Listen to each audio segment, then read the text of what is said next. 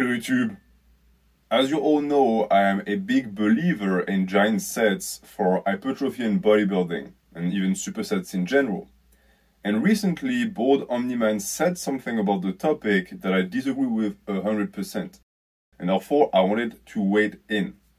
It's nothing dramatic, it's just a difference of approach, a point of contention, if you will, but I think that it denotes a different approach in the way we train, and I think that's interesting to explore because it's going to give you more value and it's going to also open your eyes to the difference in training between hypertrophy and strength.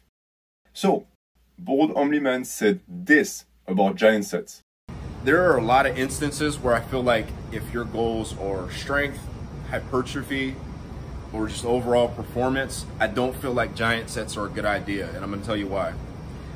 When you're training for either strength or hypertrophy, there is a performance element to that. If you do giant sets, you're putting a bigger emphasis on the conditioning aspect of it, which is what I think they're good for, and the time saving aspect of it, obviously. The first thing I notice is that Paris conflates strength and hypertrophy. And it's not surprising, everyone does on this platform because people have been convinced that strength equals size. I know that his views are more nuanced, but what he said clearly points in that direction. And it's an issue because there are different pursuits entirely. And if we take the standpoint of strength, it makes a ton of sense. If someone told you, hey, if you want to be as strong as possible, train like a bodybuilder, you would laugh in their face. But it's been now 10 years where people tell you that if you want to get as big as possible, you must train like a strength athlete. And that makes just as little sense. Both practices and endeavors require performance, absolutely. But it's not the same type of performance for the reason I just explained. We'll get into that later. When Paris speaks about giant sets, he seems to believe that the goal of giant sets is to promote conditioning and that is correct, but that's only one way to do giant set. It's one approach. There are many other approaches to giant set. The reason why people, him included, believe that this is the one is because of stereotypes. It's because of circuits. It's because you have this idea in your head of someone who runs across the gym to get as much done as possible as fast as possible. That is not the proper way to do giant set. A giant set is like a superset. You're done with your exercise and you walk like a normal human being to your next exercise. It saves time and that is the point, but at no point is it supposed to make you ragged or make you out of breath. If it does, it means that one, you have no cardiovascular endurance at all, or two, that your pace is too elevated or the exercises you selected are poorly selected. The goal of the giant set is never to be limited by your cardiovascular endurance, but by your muscular endurance. So this is something that I wanted to point out because lumping every giant set in that bag of conditioning is a little bit disingenuous. I know that he didn't do that on purpose, it's simply that everyone thinks that's the way they function and that's simply not the case. What all giant sets have in common, however, is that they do save time. And Paris mentioned that. However, I don't think that he conveyed the importance of that one aspect. Time is your most valuable resource, especially as a bodybuilder. Every time you can save time and sneak some exercises into the program, that is a massive win because that is what bodybuilding performance relies on. Since as a bodybuilder, you try to accumulate as much quality tonnage as possible as quickly as possible, which of course is completely opposed to strength training. If you gave that definition of performance, to a strength athlete like Paris, they would laugh in your face. And this is why he believes that giant sets are not super good. The issue in why I made this video is because, as I said, he lumped strength and hypertrophy together, saying that either for strength training or hypertrophy training, it wasn't good, and I disagree. Now, let's, let's listen to the second quote. If you're looking to get as strong as possible, you need to be giving as much attention to one exercise at a time so that you can put in your best performance and have adequate rest to be able to do that. As opposed to, okay, I'm gonna do squats and then kettlebell swings and then windshield wipers and then calves, and then I'm gonna rest. Dude, you're gassed by the time you're doing those calf raises or whatever the heck you're doing at the last exercise for your giant set. So this sort of proves what I just said, and that is that Paris is mostly focused on strength. He's a strength athlete, one that is jacked as fuck, but still someone whose performance aspect is going to be more tailored towards strength. And it's something that is absolutely visible in the example that he gave, where he spoke about the squats. In the way he presents the set, he is going to schedule it so as to be sure to be able to put all of the effort in one exercise at a time. And that, of course, raises performance. No one argues against that. In his example, he said that the opposite, the giant set counterpart of his approach would be doing, for example, squats plus kettlebell swings plus windshield wipers plus calves. That is absolutely a giant set, but it's a terrible giant set. I'm going to tell you exactly why. Even though you have the structure down, you are not respecting basic rules of giant set programming. Here, for example, the problem is that you are doing a heavy compound movement for the legs, followed by movements that also train the legs, and on top of that are going to damage your ability to practice the movement, aka being performant because you're doing hamstrings and glutes with the kettlebell swings, you're doing abs that are required for rigidity in the core for squats, and you're doing calves, which I would argue don't do that much to your performance. But the issue is that he is correct here. If you run this, at the end of the giant set, you can rest as much as you want. It does not matter. You tired the muscles required in the squat, and therefore you will not be performant. Now let's do a proper giant set the way I would program replace the movement like the kettlebell swing and the windshield wipers with things like curls and rear delt isolation. And just like that, you are good. You are still doing a giant set, you are still accumulating tonnage, but you're not losing performance on the squat. I will get back to it. If you believe, and I'm sure that Paris does not, but if you, watching me right now, believe that training your biceps and your rear delts after a squat is going to damage your performance, I don't know what to tell you. These are completely different muscle groups. Your body is not that weak that you would lose on performance. And if you don't believe me, please do attempt and come back. The only way it could is if you have such low cardiovascular endurance that you are stumped by that type of practice. And if that is the case, it is a sign that you need to fix it as fast as possible. I want to point out, however, that what Paris pointed out here is an example of strength work. Strength work is the one moment of the training of a bodybuilder, according to the way I program, where you will not be supersetting anything remotely heavy. For example, deadlift, squat, I don't superset, or if I do, it's with neck or with calves, nothing else, and it's a superset, it's not a giant set. So his theory about lower body movement is absolutely on point. You want to preserve performance as much as possible. However, as a bodybuilder, that strength work will make up roughly 20% of your tonnage. It's super high quality tonnage.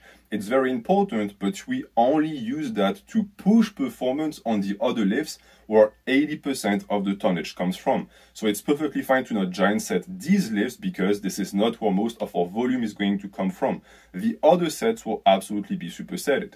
And just to rebound on the gas comment, Paris said that if you ran that type of giant set, you would be gassed, and that's absolutely correct.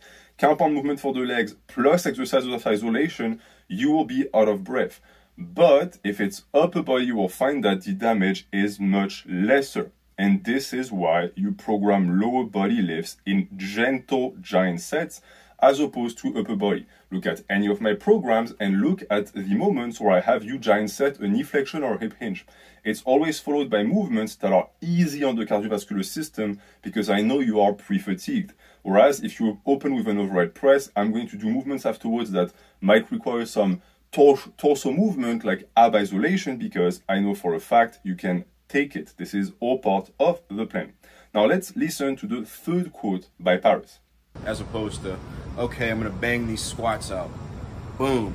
Now instead of just me being, you know, too tired to do a stiff leg deadlift and doing a kettlebell swing instead for my hip hinge, since I'm rested, I'm gonna do stiff leg deadlifts. Okay, boom. Now I'm gonna work my hamstrings because I'm not tired, and then I'm gonna work my abs. You see what I'm saying? Again, we see the focus on performance, the ability to be super on point for the top sets, which there's nothing wrong with, but it's not the proper mindset for a bodybuilder because done properly, with the way I just explained to you, a giant set will always allow you to follow up with the other movements. So, in his example, he says, I do squat, and if I superset the squat with a bunch of things that he described, I will not be able to do stiff legs. That is possible, you will be pre-fatigued. In this case, you could do strength work for the squat, then do stiff legs and superset the stiff legs. But keep in mind that if you did what I told you with the squat, for some reason you decided to do squats and then rear and curls, you wouldn't be tired for the stiff leg. Why? Well, because you still only did squats for the lower body. So what would be fatigued is your overall workability and work capacity, but that's sort of the point. Giant sets are supposed to raise it. If curls and rear delt isolation are enough to poop you so that you can't follow up with your secondary sets, there is a problem. That problem needs to be fixed because bodybuilders are endurant. Bodybuilding is an endurance sport. Yes, we don't do 50 reps, but you're supposed to be able to do a lot of reps, recover from set reps, and keep going again and again. And the thing that I must mention is also the fact that, yes, in his example, he will be more performant on the squat, but compared to what I prescribe, he will have accumulated much less tonnage, and that is the flow of said method. So maybe you'll be slightly fresher for the stiff leg, but he will also have a ton of tonnage depth that he will not have done. And that is an issue because it is the point of giant set. As I said, yes, they condition you. He mentioned it, they're good for conditioning, but we disagree on what the conditioning aspect is. He speaks mainly about cardiovascular conditioning I talk about muscular conditioning because giant sets build work capacity like nothing else. If you struggle to put in work to recover from volume and to push your tonnage, giant sets start introducing them. There is a reason why I have you do supersets in my novice program. It's to get you there. It's to give you the ability to handle more work because this is what is going to promote growth. Intensity and pushing performance on main movements of course is important as well. But if it doesn't come with the ability to do more volume, at some point you are going to run into problems. I believe 100% that Paris is someone who knows these things, but because he prefers the performance aspect, he's not going to pay as much attention to them, and this is why he will say such things about giant sets. I also must mention that I am blind signing him in the sense that I'm, of course, super prepared right now. You will see that I will correct this slight injustice at the conclusion of this video, but also think that knowing the guy, knowing Paris, he's intelligent, he's well educated, and he knows a ton about programming. I think that this is typically an answer of a Q&A he didn't spend much time thinking about, and because he sort of never did giant set himself, he is not 100% sharp on them. So in a sense, I'm not really attacking him, I'm attacking the stereotypes around the practice to to criticize them and restore the truth, a truth that is very important for every bodybuilder because building the capacity to accumulate more tonnage overall is more important to bodybuilding than strength. You can quote me on that. It's very good that you're putting more pounds on your squat, but if you're completely neglecting other movements because of that, you are going to get in trouble. So many people have done that. They put all of their eggs in the compound movement basket of get stronger, then they look at their physique, they look like garbage. It's the starting strength problem. Paris doesn't program like this. I've, I've checked his programs, but the ideology around it is still similar. This is a direct quote from Paris. If you're looking to push the most amount of weight possible, which is important for strength or hypertrophy, again, this is a conflation. It's only important for strength as a, as a basic notion because this is how you judge strength in its growth. This is not how you judge size. Yes, you're going to get stronger as you grow, as you develop your muscles, but this should never be your main goal. If progressive overload to you is summed up by more weight on the bar, you're going to have a tough time having a good physique. Some people get away with it, some people can just focus on strength and they look tremendous. That's rare. These are outliers. The majority of the population will not work like this. The distinction in my head is simple. Strength training focuses on single movements and pushes them as far as possible so as to develop strength because it tests itself via this metric, while bodybuilding training concentrates on a variety of lifts to accumulate as much tonnage as possible. Both still aim to perform. I will never say the opposite. Of course, performance is important, and the two will still make you stronger. Because if you're a bodybuilder, if your strength goes up, you can put more weight on the bar, do more reps with more weight, that's more tonnage. So yes, strength will help you gain size, but this is not the main metric and the strength gained will be at a completely different pace.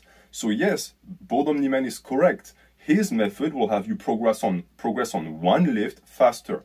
My method will have you progress on more lifts slower. Does that make sense? This is the difference in approach and the difference in the types of overload that must be pointed out.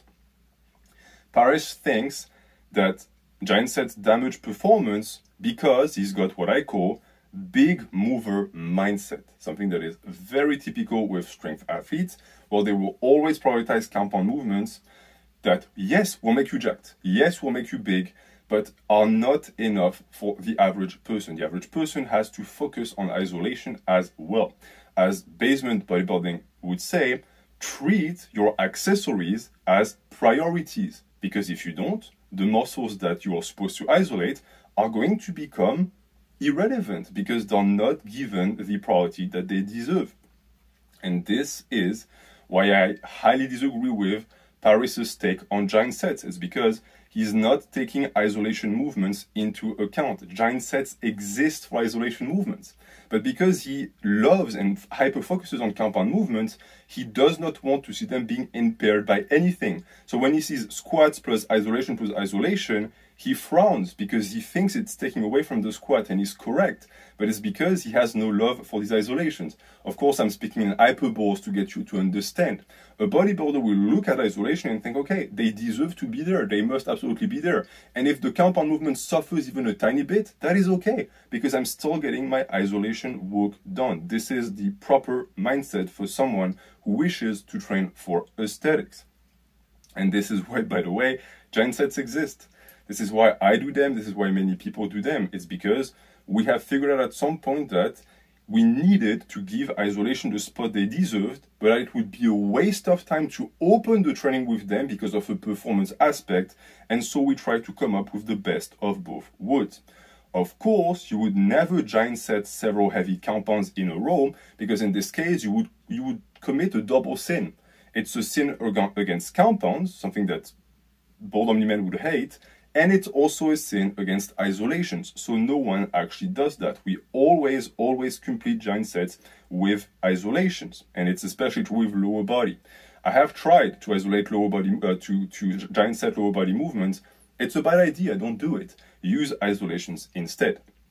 So now that the main uh, discussion is out of the way, I also want to mention Brian because uh, Paris mentions Brian Alsruhe, who is not necessarily the father of giant sets, but the man who popularized them the most on YouTube. I learned from him a ton, and the way he program, programs, I think, is extremely advanced and relevant for bodybuilders, even though he is not a bodybuilder. So I sort of want to correct some of the mistakes that Paris committed because I'm certain that he didn't do it on purpose, but he misrepresented the way Brian actually programs for giant sets, something that we've all done. I've done that in the past as well. It's not a sin, but for the sake of your education, I want to talk about it. So this is what Paris said about Brian's methods. The gift and the curse of giant sets is you save a lot of time and you get fit absolutely. You run one of those dark horse programs by Brian Alsruhe, you're to get fit but if you're looking to push the most amount of weight possible, which is important for strength or hypertrophy, not my, my not my favorite. So of course it's a Q&A, and therefore Bald Omni Man wasn't super um, complete about his explanation. So, so I just want to correct some mistakes and explain to you the way Brian actually programs his giant sets. So usually he has four exercises in the giant set, which all have a property. Usually he starts with an explosive movement, then a main mover, then core work, direct abdominal work, and then something called sweat, which is usually conditioning. This structure is not set in stone, it rotates, it's modifiable. Sometimes it's only three exercises. And you also find that if he programs upper body, he often opens with an horizontal pull followed by an horizontal press. The now famous row plus bench. This is also Brian who popularized that on YouTube. And it's an application of a superset that can become a giant set if you slap a third exercise after that. So this is the raw explanation of the way he programs. If you do not know who Brian is, I made a review of his program in the past. It's in the description because I believe that his Dark Horse program and template as a skeleton, not, a, not as a complete bodybuilding program, as a skeleton template is better than 90% of bodybuilding programs out there. He gets it. If you are not subscribed to his page, please go. You have a ton to learn from him, especially his older videos. This is where I owned my programming uh, advice. And if you like my programs, you will like his approach as well. Now, this is not all. Brian is a strength athlete as well. And Bald Omni Man said that giant sets are not the best for performance and therefore also the best not the best for strength performance. And I think this is also a misrepresentation of the way Brian actually uh, functions. So in the example of Bald Omni Man, he spoke about squats and hip hinges, like an explosive hip hinge, like a kettlebell swing. Brian would do the opposite. He would start with the kettlebell swing, but he would not do them to failure and he would not do them as work. It's not it's not muscular failure. The goal is not to damage the muscle, to put tension on the muscle. The goal is to actually potentiate the muscle. It's to get the nerves and the body to fire. And then after that, you do your main mover like a deadlift, which does not take away from performance. It, the opening movement is just again to get the body in the right pathways. And this is absolutely applicable and does not damage your ability to deadlift a lot of weight, to squat a lot of weight. It would be different if you open, like I see many bodybuilders do, with a, a leg isolation, like a leg curl. Okay, in that case, it's work. You're damaging the ability of the glute and the hamstrings to fire because you're tiring the muscle fibers. This is bad. This is why I'm against it. This is a bad way to giant set because the priorities aren't straight. But if you do it properly like he does, you don't have to open with the compound movement. You can open with something like a kettlebell swing. And by doing that, as I said, he potentiates, he saves time, which is very important, and also he accumulates tonnage. And when I saw his method, I thought, okay, I don't care about the potentiation, I care about the saving time, and I care about the tonnage. So how can I program to make use of giant sets for bodybuilding? Because I use giant sets, but not in the way Brian does. I completely revamped the thing. I just took the skeleton of the brilliancy of the concept and I made something completely different with that. So the way I do it, my application, there's a million applications of giant set, is to open the set with a heavy compound movement, always, then pyramid down in intensity. The goal is always to prioritize for performance the movement that requires the most uh, uh, nerve activation and the more the most muscle activation. So if someone open with a curl, then follow that up with a press, I would say that it's a poor practice. But if you do a curl and a forearm exercise, now the priority is respected and the pyramid of intensities is also respected. You place at the start the motion that you want to be able to be the most performant on. And by doing that, you ensure that the movement that opens the giant set is always the one where you're the freshest. This is also something that Paris mentioned where he said, well, yes, you rest after the giant set, but you're not going to be as performant because of the exercises. And this is where I say, pardon my French, bogus, because you still rest. I don't care if you did exercises in between. You do a press, then curls, then forearms, then four minutes rest. You're going to be as fresh for your press as you would be if you didn't do the isolation. Please try it if you haven't. I know that it's tough to believe because we are used to top sets, single sets with only one movement, but if you give it a try, you will find that your performance is just as fresh. For example, start with a dumbbell press, then do skull crushers, then do abs or forearms. Pyramid of intensity is respected, you rest after the abs or forearms, then you do the dumbbell press. Performance is not affected, you will get as many reps as if you didn't do the exercises. And I know many people will say, well, that's not possible. You did skull crushers. If you do skull crushers properly, it's an isolation movement for the long head. The dumbbell press does not recruit the long head. Again, don't trust me, try it.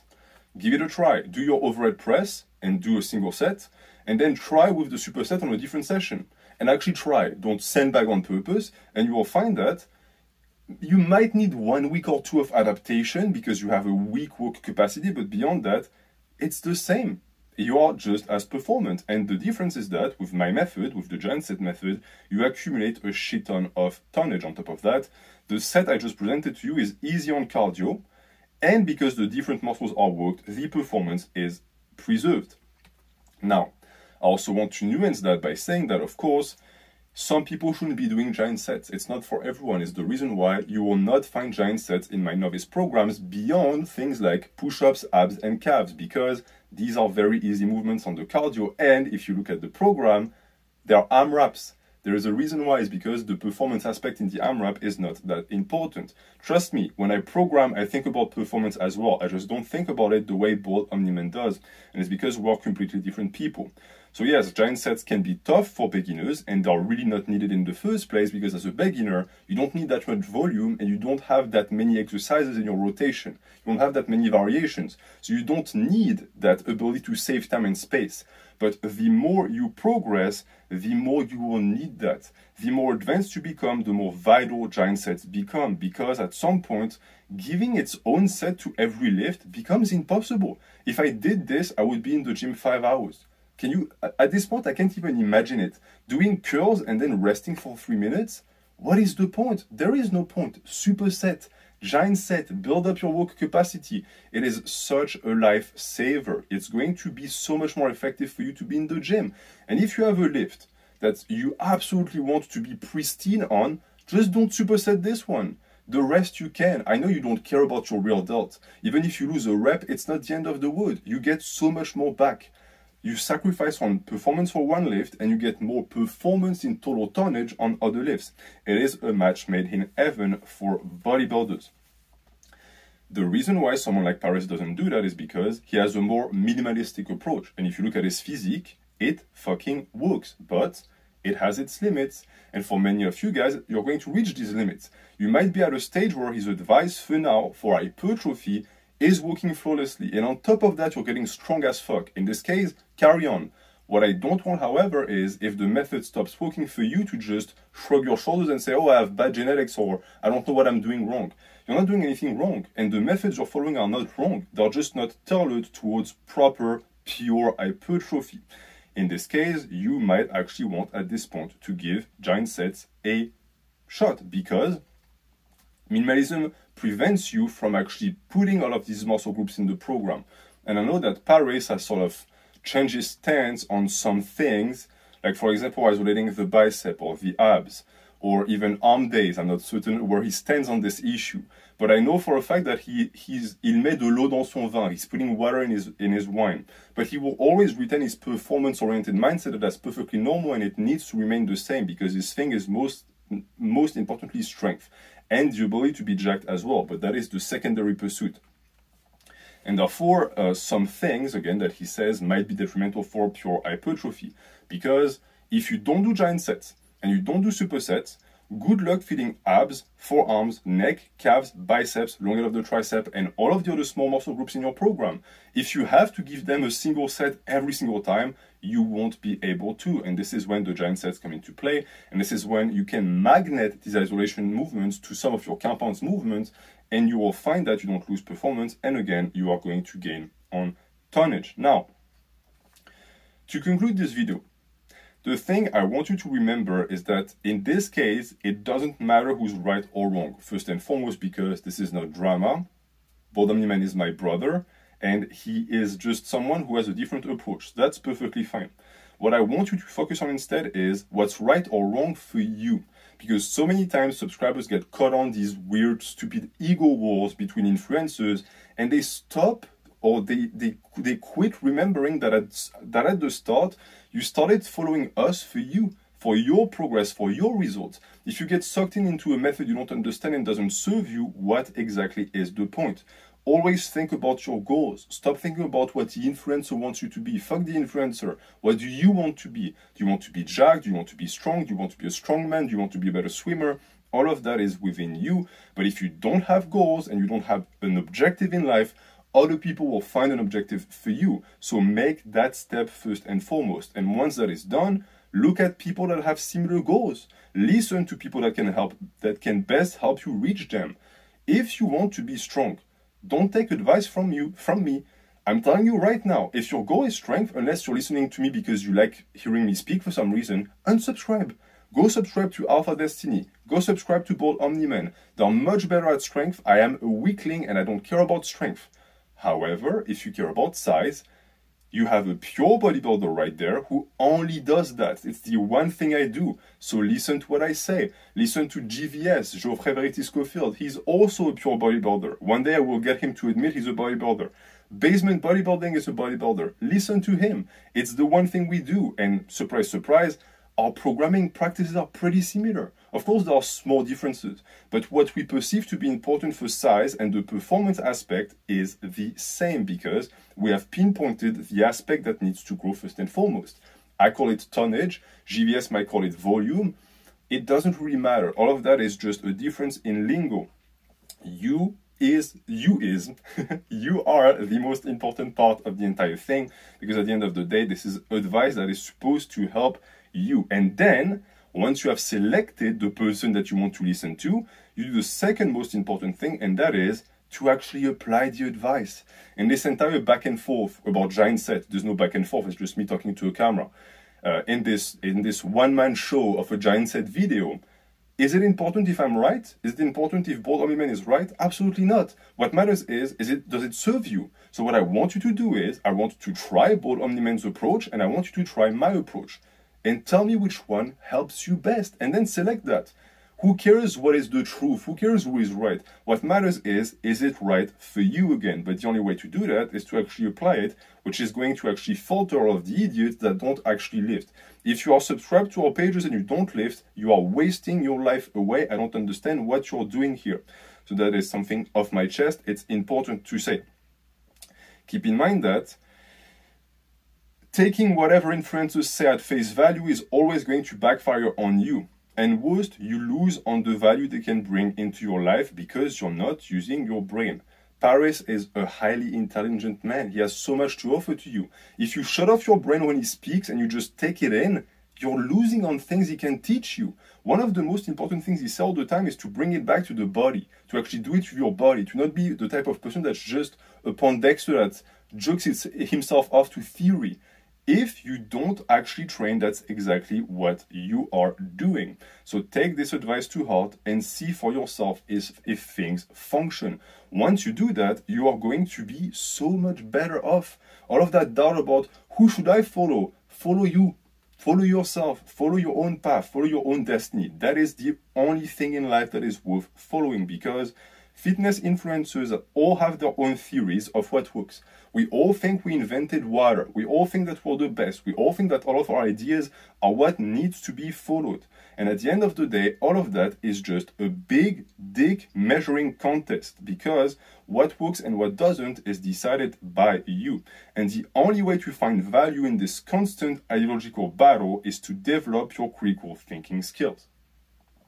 And to help assist you in that, I will be starting eventually a new podcast series in the format of a Socratic seminar, where fitness YouTubers will be able to share their ideas in a format totally open to discussion and whose goal will be to reach a deeper understanding of training and the nuances between performance, size, and all of these great questions that I cannot wait to discuss. And I can already tell you that for my first guest, I am going to host Bald Omni-Man. Hopefully, he's going to grace me with his presence. We're going to have a great chat, and after him, more will follow. I want to show to you guys what an actual discussion between adult men is supposed to look like, not a debate between old ladies who bicker and want to prove they're right. It's not about if you're right, it's about what serves you best. And a discussion, something that leads to a better understanding of training for you, is the way to go. So I'm going to leave you with that. I hope this video helped you understand again the differences and things that work for you and I'm going to see you very soon.